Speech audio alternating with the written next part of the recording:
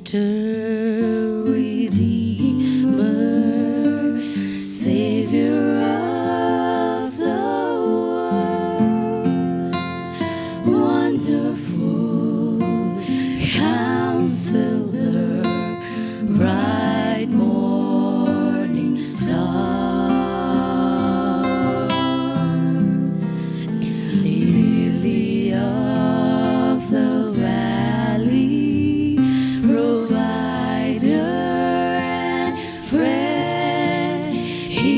yesterday, he'll be tomorrow, the beginning and end.